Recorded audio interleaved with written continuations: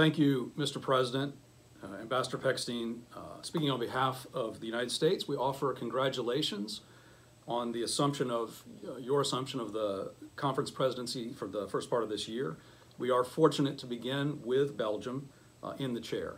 I also give a special thanks to our permanent representative to the Conference on Disarmament, Ambassador Robert Woods, uh, who has done important work as our representative. It is a pleasure to be with you here today as we convene the next session of the CD. this is an organization that has played historically such an important role in safeguarding peace and security in the past, and one which could do so again in the future. Although I must say the behavior of Turkey and Iran uh, this morning calls that into doubt. I particularly urge Turkey to reconsider, as you will be known by the company you choose to keep. Tomorrow, here in Washington, former Vice President Joe Biden will be sworn in as the 46th President of the United States. As the outgoing president's advisor and his envoy, and as the undersecretary, uh, as the acting undersecretary, I and the State Department team here have worked very closely over the past month with the incoming U.S. administration. At the end of the day, of course, as Americans, we all swear the same oath of allegiance to our Constitution, and we all labor faithfully to serve the same nation. For those of you who are democracies with whom we have treaty alliances uh, in both Europe and Asia, you can be reassured that there is an enduring and an unwavering commitment to our collective security. For those of you, like Iran, who are adversaries of democracy, who violate international accords, who subvert the rule of law, and who undermine international norms, there will be no lessening of America's determination to hold you accountable, to expose your behaviors, and to impose consequences. In these respects, America's foreign policy will hold the same course bearing and heading as it has since our founding. Now to the matter at hand. It is not a flaw that the security policy of nations, particularly in the field of arms control, is often guided by lofty visions of idealists. That is laudable. The fatal flaw arises when idealism is married with naivete. History records those who ignore the reality of how the world is and instead fantasize about the world as they wish it would be as being destined to failure or worse, to incentivize aggression through appeasement. In this respect, things such as the TPNW are examples of highly counterproductive arrangements. History records those who proceed from a recognition of what is and who work from positions rooted in reality as true statesmen who have strengthened global peace and stability through their words and their deeds. The sad reality that we face today is that we have a global arms control infrastructure that has been deeply corroded by the actions of countries such as Iran, but also by nations such as the Russian Federation and the People's Republic of China. This is lamentable, but it is the truth. We cannot wish it away or ignore it. If we are to establish a new and better global arms control framework, we must begin with an understanding of how eroded have become certain fundamental principles, such as transparency, confidence building, verification and compliance, and good faith, even today, we've seen the principle of participation of sovereign nations, sovereign UN members, uh, as, as now under attack as a principle in the Conference on Disarmament. We also must understand that we have entered a new era of arms control. The Cold War era approach, which relied upon multilateral solutions for some things, but reserved uh, between superpowers bilateral arrangements to avoid nuclear weapons arms races, this is over. Henceforth, only multilateral solutions will have the potential to be enduring. They may be large multilateral agreements, such as those that can be fashioned in the CD, or smaller trilateral accords, as should be the case for future nuclear arms limitations. But they will all be multilateral in some fashion. Over the years, the Russian Federation has become increasingly reliant on nuclear weapons. They've adopted a provocative nuclear doctrine that embraces early escalation and use of nuclear weapons. It is vital, given this stance, that Russia reassure the international community that they continue to agree that the laws of armed conflict, particularly the concept of proportionality, applies with regard to nuclear weapons, and I urge our Russian colleagues in their intervention to state unequivocally that they continue to do so. The United States is concerned, in keeping with Russia's new doctrine, that they are building and modernizing an arsenal of thousands of nuclear warheads that are completely unconstrained by the New START Treaty. More than 60 or 70% of Russia's nuclear arsenal sits outside of any form of arms control limitation, and the size and variety of nuclear weapons being deployed on tactical and shorter range systems is surging. Today, Russia has far more nuclear weapons or warheads meant for non-strategic systems, uh, such as short and medium-range missiles and torpedoes and landmines and so on, than it does for systems covered under the New START Treaty. Indeed, President Putin seems to have walked away from the presidential nuclear initiatives that were affirmed by his predecessors, as well as past U.S. presidents. In light of this, and in light of Russia's destabilizing projects such as Poseidon and Skyfall, which do not fit within any deterrence framework, we've been unable to reaffirm the Cold War era joint statement that, quote, a nuclear war cannot be won and must never be fought. We agree with that principle, but no U.S. president, no leader of any nation, should play the game of reaffirming something with Vladimir Putin when we suspect he really doesn't believe it. It seems, in fact, that Putin and his inner circle think perhaps nuclear war can be won, and Russia is constantly wargaming and exploring how to fight one with NATO. All right-minded nations in the CD today should encourage Russia to abandon the flying Chernobyl cruise missile called Skyfall and the undersea version called Poseidon, and to stop adding hundreds upon hundreds of nuclear warheads to its arsenal every year. I urge others to join us in calling on Russia to be truthful about the fact that it is engaged in nuclear weapons tests with yield at Novaya Zemlya, despite its pledge not to do so. The United States is not engaged in such testing, and we are not engaged in any nuclear weapons buildup, but Russia is. We urge Russia to stop. Speaking of other nuclear weapons developed by Russia, nothing has done more harm to the global arms control architecture than Russia's brazen violation of the INF Treaty. Russia destroyed the INF Treaty by cheating. We now know cheating for more than a decade. They secretly produced, tested, and have now deployed an intermediate range nuclear tipped cruise missile in direct contravention of that treaty. The Russian military now fields multiple battalions of these SSC 8 missiles. The United States, on the other hand, does not field any similar systems. Unlike Russia, we honor our treaty obligations. Our approach to arms control is very straightforward. When we make a deal, we keep our end of the deal. We keep our commitments and we expect other nations to do likewise.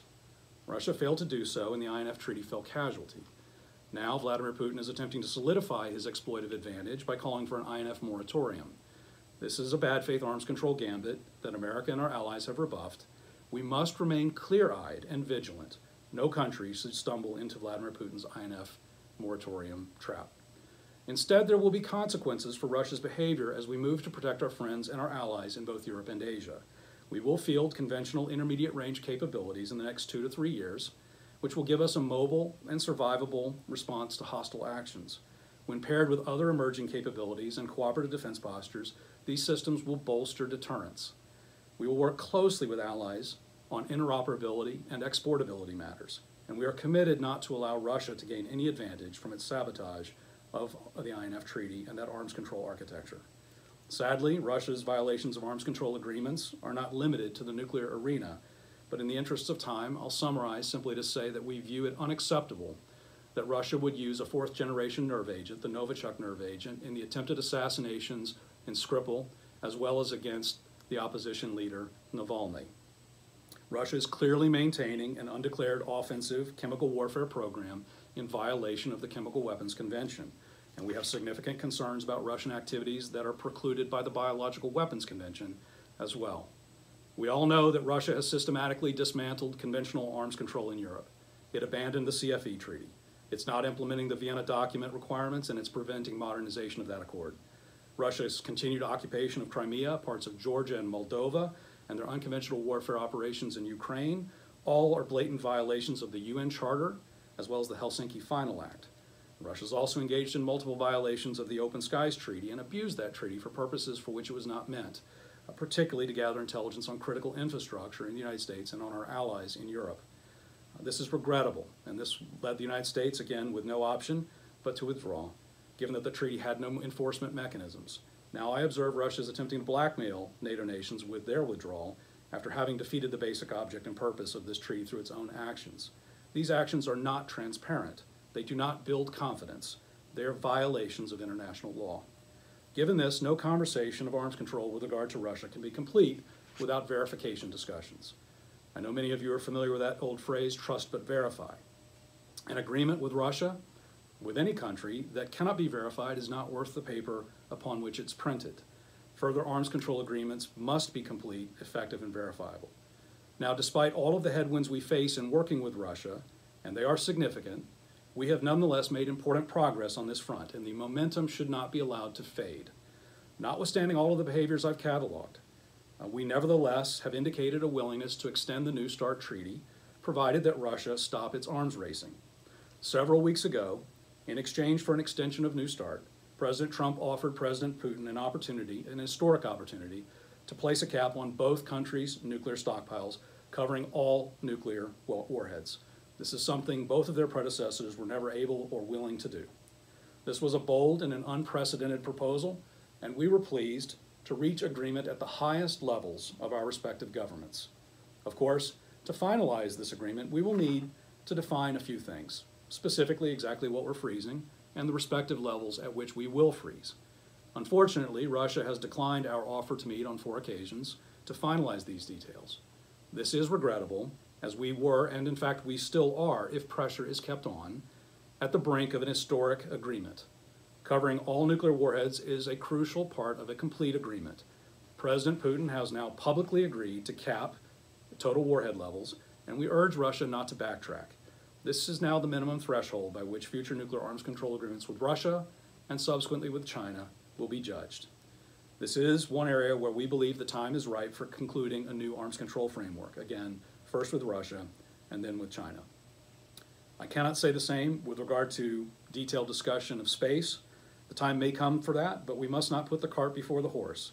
We must first develop clear norms and expectations for behavior in outer space.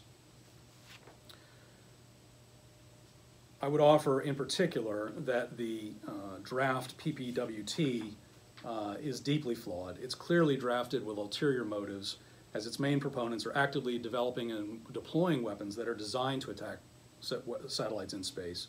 Some of these capabilities would be covered by the draft treaty, but there are significant exceptions. Uh, we'll discuss those further as these discussions evolve, but we feel that it is essential, first and foremost, before launching into arms control negotiations on outer space, to define what norms of behavior can be developed to reduce risk of miscalculation, particularly as the risk continues to grow with both reckless Russian and Chinese behavior. Returning to Earth, as I mentioned at the beginning, many re remain trapped in a Cold War era binary mindset when it comes to nuclear arms control. The reality, unfortunately, is that China is engaged in the single greatest expansion of a nuclear arsenal since the advent of the Cold War, and they're doing it behind a great wall of secrecy. The same country that is running concentration camps for Uyghurs, crushing peaceful protests in Hong Kong, has attacked Indian troops on their side of the border, fabricated maritime boundaries by building islands in the South China Sea, and which wants to invade and destroy Taiwanese democracy, is now engaged in a crash nuclear buildup. China doesn't want you to know the truth. There's an old saying, hide a dagger behind a smile.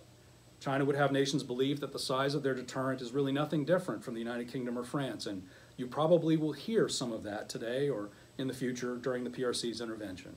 In reality, the situation is far different. And to expose this deception, the United States has declassified a wide range of intelligence on China's clandestine buildup, including images from China's 2019 military parade.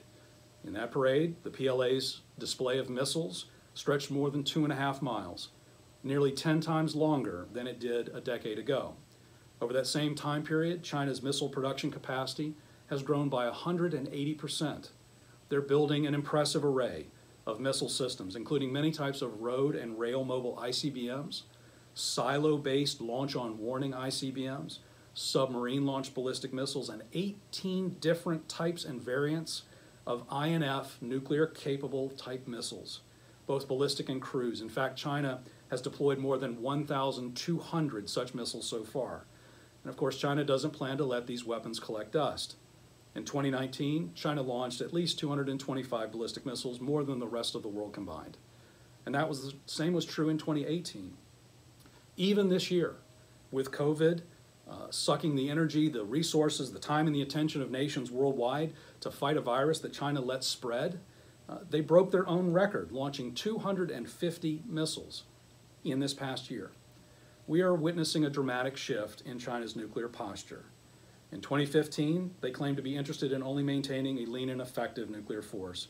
Just four years later, that phrase was retired and the intention with it. While they continue to tout their so-called no first use policy, it's clear the policy is propaganda, not policy. Not only is it riddled with caveats, but the systems they're building and deploying prove that it's not genuine.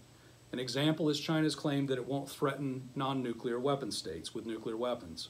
Why then has China deployed the DF-21A at Chishu, where it can only hit non-nuclear weapon states uh, other than China's treaty partner North Korea? For more than a year, we've been calling on China to negotiate in good faith in order to prevent a dangerous and unprecedented three-way nuclear arms race. As all nations of the CD know, China is legally obligated to do so. It is deeply regrettable that they have chosen not to honor this legal obligation. The United States is now concerned regarding China's compliance with its Article 6 obligations.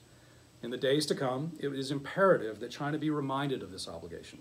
It is essential that all peace-loving nations continue to urge the Chinese to the table. Many have done so already. However, a number of handful of, of nations that historically have been vocal on the importance of nuclear arms control have to date remained silent. We're at a critical juncture, and now is the time for the idealists to join with the realists to avoid the perils of a three-way nuclear arms race, unlike anything experienced during the Cold War. Now is not the time for naivete. It is time to multilateralize nuclear arms control. It is time for Russia to finalize with the incoming Biden administration the details of the Trump-Putin agreement, and to, I ask all nations to urge Russia to step forward and complete what we've begun, and to remind China that they, in fact, must negotiate in good faith, both with us and the Russians, on effective nuclear arms control mechanisms, and we should hold them to it. I've highlighted today the dangers this body and others like it will be called upon to confront in the days to come. We've ex exposed some of the corrosive behavior that has damaged the international arms control framework there can be no equivocation or timidity in addressing these threats to global peace and security. Frank conversations like these are important. The first step in resolving any problem is to identify the problem, to expose the lie, to name the danger. This is necessary. And nations and individuals who have the courage and moral fortitude to do so deserve our respect and praise. But this is not sufficient. When countries or individuals behave recklessly or dishonestly, they must suffer the consequences. If they do not, faith in and respect for bodies like this one is eroded.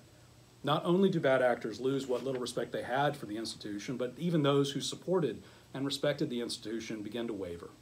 Now is not the time to waver. The stakes are too high.